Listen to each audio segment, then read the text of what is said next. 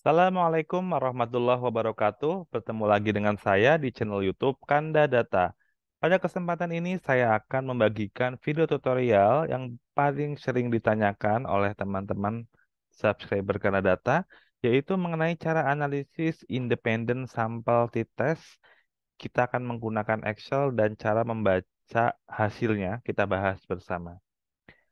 Apa sih yang membedakan dengan pilot sample t-test? Mari kita bahas bersama pada contoh kasus yang akan saya tampilkan pada tutorial kali ini. Namun sebelum itu, sebelum kita mulai, saya informasikan kepada sobat semuanya, untuk terus mendapatkan notifikasi video terbaru, silakan klik subscribe dan aktifkan gambar loncengnya. Di sini ada sampel sebanyak 15N, yaitu ada metode A dan metode B. Nah, di sini contoh kasusnya adalah kita menggunakan data sampel independen yang equal ya jumlahnya sama persis ya 15. Perbedaannya apa dengan pilot sampel t-test? Pada video minggu lalu saya telah membuat video tutorial mengenai cara uji pilot sampel t-test. Kalau pada pilot sampel t-test kita menggunakan sampel yang sama ya. Jadi kita menggunakan misalkan 15 siswa kita uji pretest, kemudian kita melakukan eksperimen, selanjutnya kita uji lagi post-test setelah jangka waktu tertentu. Itu kita namakan pilot sample t-test. Sedangkan pada contoh kasus pada video kali ini, di sini ada seorang manajer, di sini akan membandingkan metode pemasaran, ya, metode pemasaran A dan metode pemasaran B. Jadi di sini untuk yang dijadikan sampel, ini adalah beda lokasi ya, lokasi berbeda tapi metodenya ini juga beda. Jadi istilahnya kalau kita memudahkan, kalau misalkan contoh penelitian di kelas untuk eh, pendidikan, itu ada kelas kontrol, ada kelas eksperimen. Bisa juga diaplikasikan seperti itu.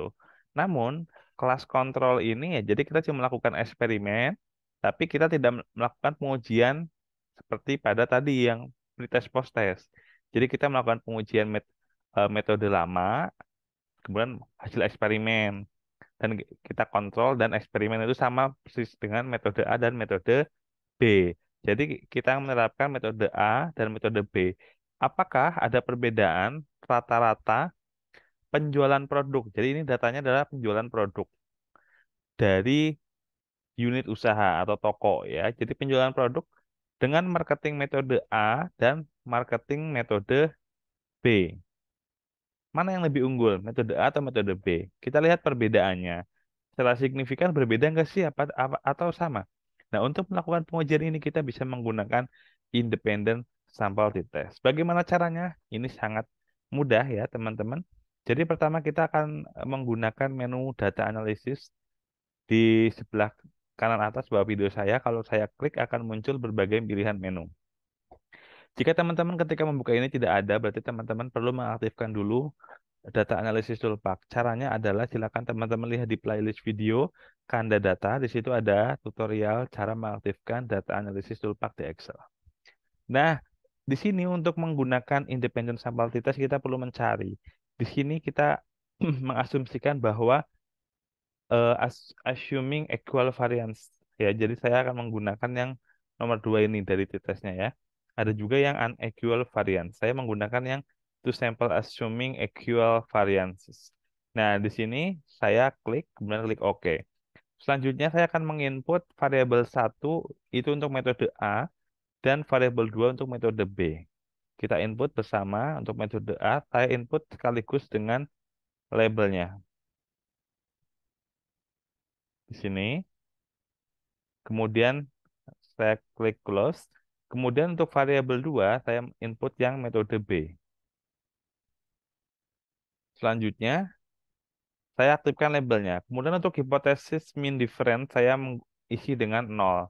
Jadi maksudnya eh, di sini adalah saya akan menguji apakah ada perbedaan ya. Jadi kalau hipotesis 0 ini, metode A dan metode B itu tidak berbeda nyata.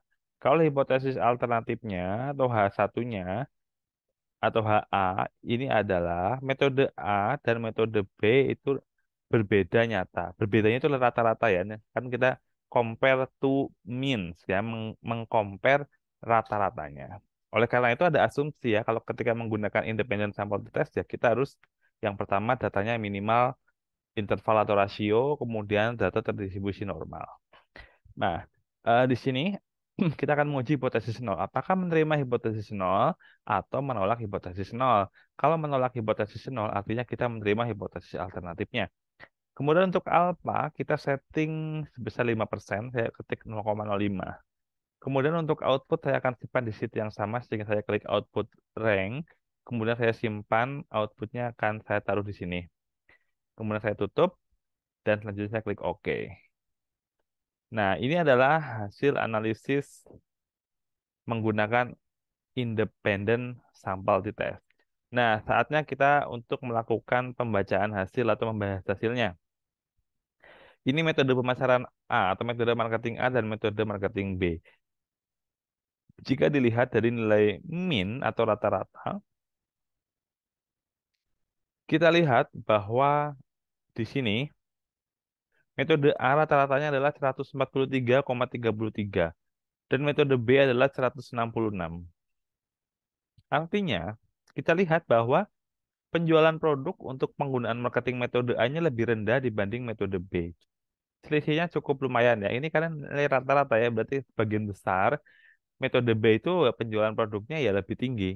Nah, kita perlu buktikan dengan statistiknya ya. Kita lihat nilai T statnya ya. Nilainya adalah min 3,52. Saya di sini menggunakan dua arah.